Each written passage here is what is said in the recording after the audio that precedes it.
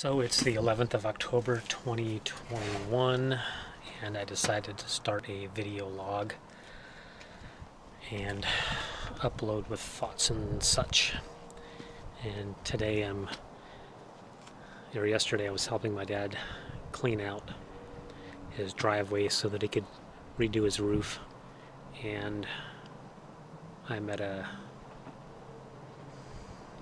kind of a frustrating sad point where I'm looking around and knowing whatever I put into the dumpsters or try to get rid of to help him clean, it's not going to help because there is so much stuff.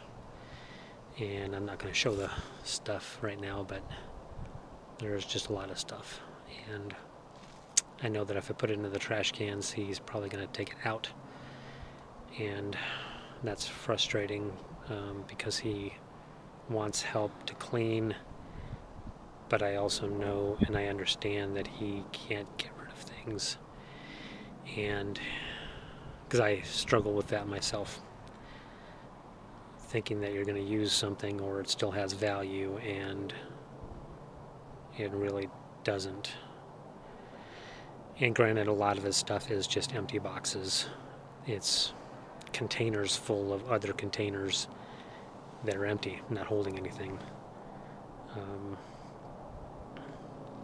so I want to get rid of all that stuff and I want to recycle it, you know, so at least it gets used for something, but I don't have anywhere that I can put it that he's not going to pull it back out and stick it in the backyard somewhere.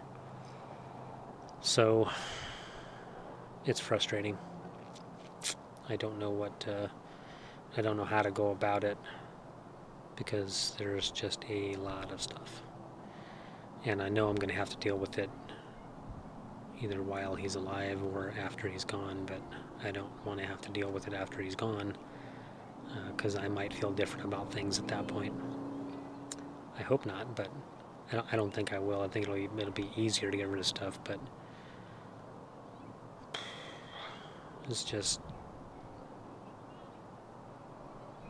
sad. Sometimes I'm reminded of being 15 and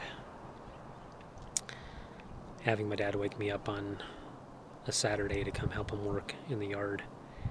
And it was usually moving stuff from one part of the